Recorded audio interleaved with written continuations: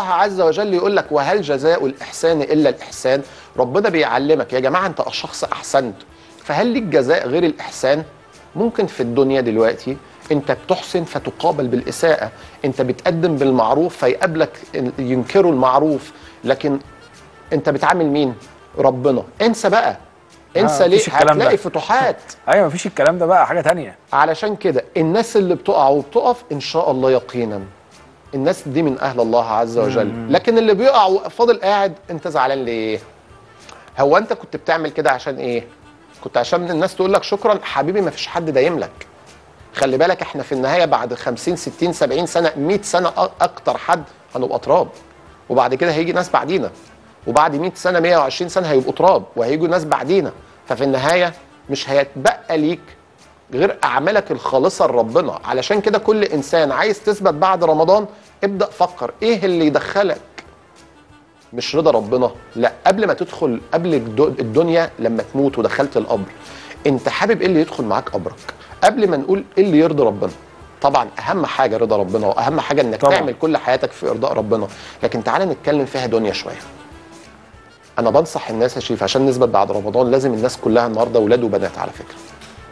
لو بس لقطة نروح نزور فيها المقابر. على الأقل لو كل شهرين مرة. ده تبقى تصحيح مسار بتغير. لا تتخيل. عشان النبي صح. عشان النبي صلى الله عليه وسلم. وصلك طبعا. اكثروا. من ذكر هادم اللذات. آه. هو مش معناه إنك تكره الدنيا. بس النهارده ما إحنا قاعدين نسمع عن ناس بتموت كده لحظة. والفنان اللي لسه مات آه، من, من درويش، الله يرحمه. ربنا يرحمه يا رب. تلاقي الناس كلها تقول لك إيه؟ ده كان كويس. ده كان ما- اشتكاش من حاجة. آه. وتبدأ بقى إيه؟ الحاجات الخير آه ده كان آه. بيعمل كذا وبيعمل كذا. الله حلو قوي. بس هو مش كان في حياته دي اللقطة ده اللي دايما بنقولها مش كان في حياته يستحق وكان يتمنى إن هو يسمع كل الكلام الطيب اللي بيتقال. عنه النهارده. طبعا. علشان كده بنفضل لتاني مرة بنقولها من من الفقرة انما دي إحنا. البشر بتيجي ارجوكوا قولوا للناس الكلام الطيب لما يعيشوا. أكيد كان هو محتاج الكلمة الطيبة دي. أيوه طبعا. أكيد كان محتاج الدعوة الطيبة دي. يحس بقيمته وهو عايش. لكن الله عز وجل يبين لنا مقدار إنسان. ممكن ناس كتير ما كانتش تعرفه إلا بعد ما مات. فلما نيجي نروح نزور المقابر ونبدأ نشوف النهارده الموت ما بقاش عارف صغير وكبير. عايز تثبت بعد رمضان بعد إذنك وبعد إذنك. مهما كن مهما كان حالك مع ربنا. بعد إذنك روح بص للمكان اللي كلنا هنروحه. بمزاجنا. غصب عننا إحنا رايحين. اقتنعنا. ما اقتنعناش إحنا رايحين. فروح بص على المكان وابدأ قرر في الدنيا. إيه اللي أنت حابب إنه يدخل معاك قبرك كلمة طيبة هتدخل معاك الله. ذكر صلاة مساعدة ناس جبر خاطر ناس آه، طاعة أب وأم آه، تساعد حد وتقضي حاجته. الله. الله يدخل معاك القبر طيب تحب كلمة وحشة قوي وقعت ما بين ناس؟ إساءة ظن. إنكار معروف. خذلان لحد ما يستاهلش منك إنك خذلته. تحب يدخل معاك إيه قبرك علاقة حرام.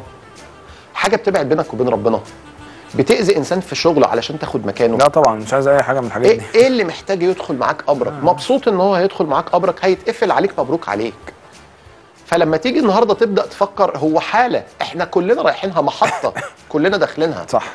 من أول ما الإنسان هيموت ويبدأ يشوف الملك اللي جاي له فهيبدأ يجي له كده بشريات هو حياته كلها يعني اللي بعد الموت رايح خير ولا شر؟ لما يلاقي إنسان لابس أبيض فابيض ووشه منور وريحته جميلة فيبدأ يطمئن. ملك الموت وهو داخل على الإنسان لأنه هيبقى شايفه. فبصرك اليوم حديد هو شايف الملك اللي داخل عليه.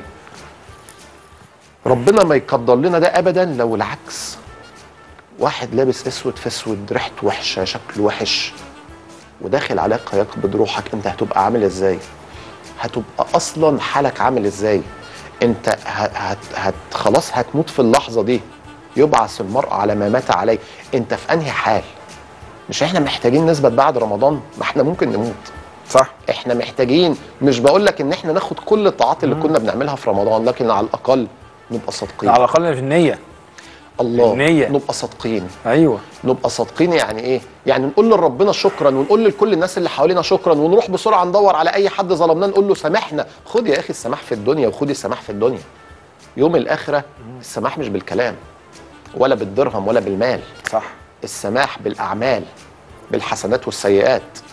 فياخد حسنات ولو الحسنات خلصت يديك من السيئات. فالنهاردة ما- مفيش. مفيش ال- التعامل في الآخرة مختلف. فلما تروح لحد في الدنيا أنا آسف. أنا غلطت في حقك. أنا قصرت في حقك في وقت ما أنت كنت محتاجني. أنا أنكرت فضلك اللي أنت عملته معايا اللي أنت أصلا ما كنتش بتعمله علشاني والدليل إنك لسه مستمر والدليل إنك لسه واقف والدليل إنك لسه بتتحرك. لكن الدنيا مش دروشة ولا الدنيا كده. مهما كان الإنسان قوي بيجي له حسرة كده وبيجي له كسرة لما يحس بالخذلان من أقرب الناس ليه وخاصة لما تحس يا شريف بخذلان من أكتر ناس أنت كنت حاططها في حتة أنت صح. مش قادر إنك أنت تبص عليهم بشكل وحش. صح. مش قادر ولا تستوعب. قادر إن أنت تتخيل إن الناس دي ممكن في لحظة يغلطوا في حقك. بتبقى مش مستوعب اللي حصل منهم ورد الفعل اللي- اللي خرج منهم؟ الله. فتبدأ تحس هي الدنيا بقت كده. هي الدنيا ما عادش فيها خير فتيجي أنت تراجع نفسك. لا. الله عز وجل ربنا يستحق. ربنا مش هينسالك. ربنا سايب لك محوش لك حاجة حلوة. قوم وقف وكمل تاني. مش عايزين نثبت بعد رمضان لازم نعمل كده.